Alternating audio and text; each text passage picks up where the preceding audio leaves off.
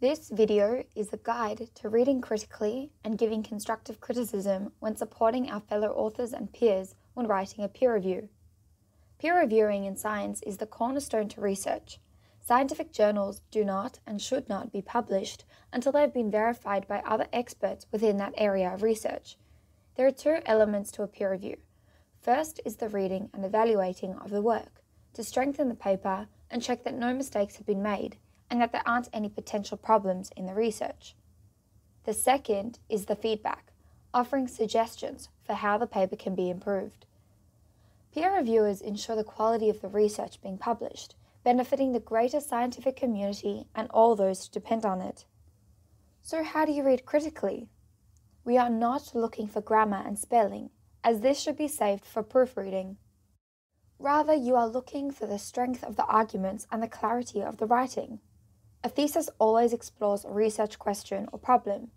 It is necessary for an author to show that the question has been approached analytically by carefully presenting the order of the ideas or results in a scientific study that led to the final conclusion. Some characteristics of a well crafted argument are being explicit. Here, the author is aware of and clearly states the assumptions, inferences, and reasoning that connect the different parts of the work together. It should be significant. The research question and conclusions are not trivial but have a clear impact on the field, and the author has explained their significance. It should be concise. Only information that is pertinent and necessary to the argument should be provided. And it should be consistent. There are no contradictory statements or elements within that argument. To guide your reading, you should be able to answer the following questions. When looking at the argument and the conclusion, we're asking what is the main argument and point of the section? Is there a main claim? And if not, do you understand the author's intent? Is the argument supported and how? How is the quality of the supporting points? What is the conclusion? There might be more than one. And does the conclusions answer the research question? How acceptable are those conclusions? When looking at the supporting information, we're asking does the author provide two to three subclaims? And do the subclaims support the thesis statement? What are the claims? Are the claims easily identified?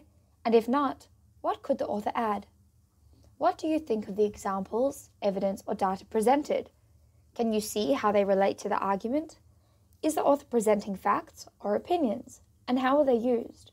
Is there any more information that needs to be provided before the conclusion can be accepted? Does the author support their claims with evidence and reasoning? Where is more evidence required? Where could the author provide more reasoning to make connections between claim and evidence explicit? And do they address counterclaims to make their argument convincing? If not, what could they add? When looking at the author's purpose, you're thinking about what you think the author is doing in each section. Can you recognize the main argument? Can you recognize the conclusions? How? Are you able to follow the reasoning? And why?